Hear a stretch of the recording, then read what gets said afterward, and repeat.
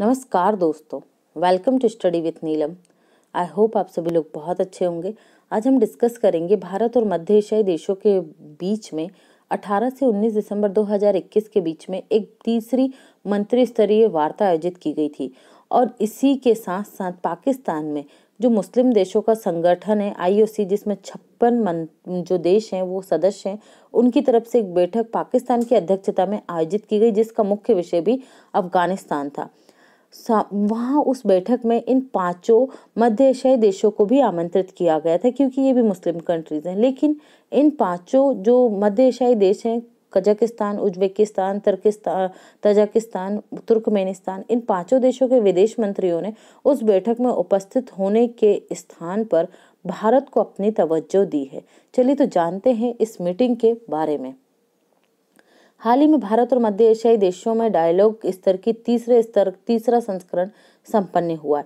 यहाँ आप मैप में देख रहे हैं कजाकिस्तान, उज्बेकिस्तान, तुर्कमेनिस्तान, किर्गिस्तान और तजाकिस्तान।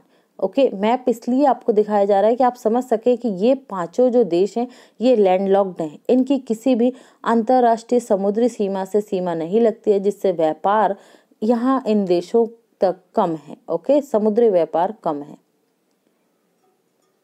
इसके अंतर्गत भारत और मध्य एशिया के पाँच देशों के विदेश मंत्रियों ने हिस्सा लिया है।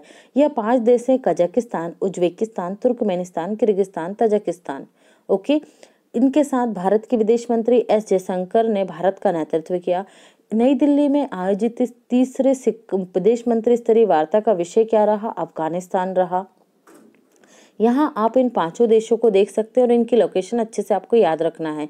ओके? यहाँ पर आपसे क्वेश्चन मैप किससे रिलेटेड भी पूछा जा सकता है कि कैस्पियन सागर से किन किन मध्य एशियाई देशों की सीमा लगती है, ओके? तो यहाँ आप देख रहे हैं कजाकिस्तान है और तुर्कमेनिस्तान है, इनकी सीमा किससे लगती है? कैस्पियन सागर से लगती है और अरल सागर इनके मध्य में यहाँ स्थित है, ओके? ये क्या है? अरल सी है। तो देखिए, उज्बेकिस्तान की कैपिटल क्या है? ताशकंद है। तुर्कमेनिस्तान की कैपिटल अस्काबाद है। कजाकिस्तान की कैपिटल अस्थाना है। और किर्गिस्तान की कैपिटल बिस्केक है और तजाकिस्तान की कैपिटल दुसानवे है। तो ये पाँचों मध्य एशियाई देशों के विदेश मंत्री भारत में उपस्थित हुए। अब भारत इन देशों के साथ कनेक्टिविटी व्यापार, वाणिज्य को बढ़ाना चाहता है, जो कि व्यापार भारत का इन देशों से बहुत ही कम है, जो होना बहुत ज़्यादा चाहिए था। तो इसके लिए जो रुकावट हमारे सामने उत्पन्न होती थी, हमारे पड़ोसी देश, परम पड़ोसी देश कौन है? पाकिस्तान। तो ये हमारे विकास में हमेशा बाधा उत्पन्न करने हैं इनका मुख्य उद्देश्य है। या हम अफ़गानिस्तान को कोई हेल्प पहुंचाना चाहते हैं, जैसे अभी गेहूँ पहुंचाना था और जो मीट पहुंचाना था तो इन सब में अब पाकिस्तान बाधा के रूप में खड़ा रहा, ओके? तो हमने क्या सोचा है कि जो हमने ईरान में बंदरगाह डेवलप किया है, चाहबार बंदरगाह, इसके माध्यम से अफ़गानिस्तान के रास्ते होते हुए हम मध्य एशिया में प्रवेश करेंगे और यहाँ से हमारा व्यापार इन देशों के साथ सुचारू रूप से चलाएँगे। देखते हैं आगे की राह क्या होती है। भारत के नेतृत्व में सभी देशों ने मिलकर अफ़गानिस्तान में समावेशी सरकार बनाने पर ज़ोर दिया।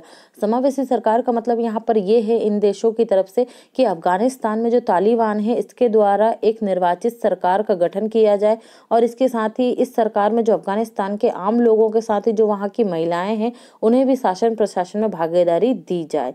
इसके साथ ही भारत ने ईरान स्थित चाहबार बंदरगाह के मध्य एशिया के साथ व्यापार के इस्तेमाल की बात कही है। मध्य एशिया के यह पाँचों देश लैंडलॉक्ड हैं।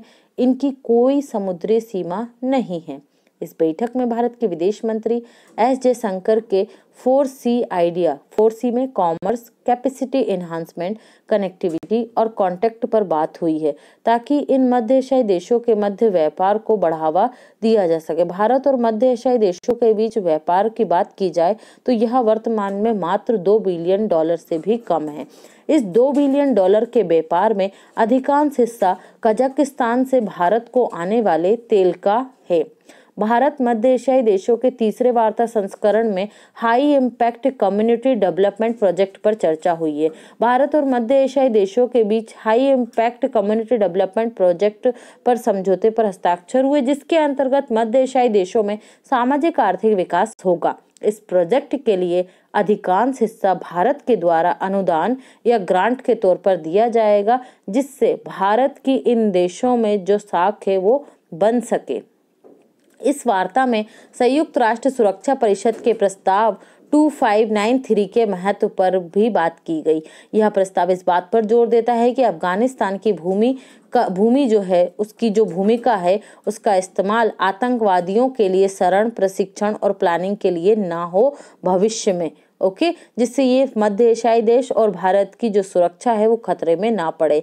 इंडिया सेंट्रल एशिया डायलॉग की पहली बैठक 2019 में उज्बेकिस्तान में आयोजित की गई थी। और दूसरी बैठक 2020 में कोविड 19 के कारण वर्चुअली आयोजित हुई थी और तीसरी बैठक 2021 में नई दिल्ली में आयोजित हुई। और नया डेवलपमेंट ये हुआ है कि विदेश मंत्रियों की बैठक के बाद भारत ने इन पाँचों मध्य एशियाई देशों के राष्ट्रपतियों को भारत के गणतंत्र दिवस 2022 के लिए आमंत्रित किया है। ये बहुत ही बड़ा भारत का, जो डेवलपमेंट है, इस क्षेत्र में अपनी साख स्थापित करने का। तो अगर इस मध्य एशिया और भारत को लेकर कोई और डेवलपमेंट होता है तो इस पर आगे जो अपडेट आती है, उसके अकॉर्डिंग हम वीडियो लेकर आएँगे। अगर आपको लेक्चर पसंद आया तो लेक्चर को लाइक कीजिए शेयर कीजिए और चैनल को फटाफट से सब्सक्राइब कर लीजिए। Thanks for watching and take care